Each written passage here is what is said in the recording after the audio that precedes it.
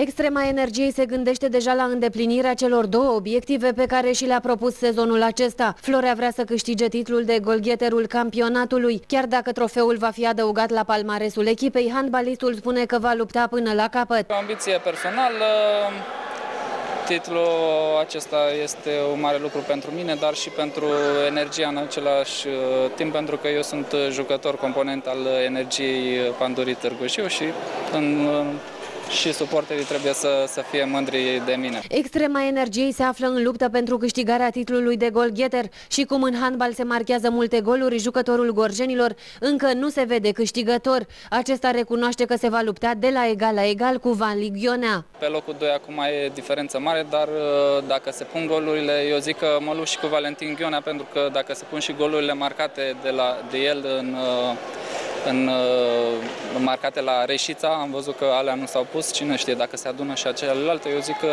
mă voi bate cu el acolo la titlu. Florea crede în continuare în steaua energiei și în șansa ei de a prinde un loc de cupe europene. Handbalistul spune că vrea în continuare să joace la formația gorjană și din vară, chiar dacă obiectivul nu va fi îndeplinit. Fiecare meci trebuie să-l tratăm ca pe, ca pe o finală, pentru că pentru locul 5 se, se, se dă o mare luptă. Suntem și noi, și Bacău, și Clujul, și Suceava. Deocamdată conducerea clubului spune că jucătorul nu are nicio ofertă și nu se pune problema ca Florea să fie lăsat să plece spre alte zări.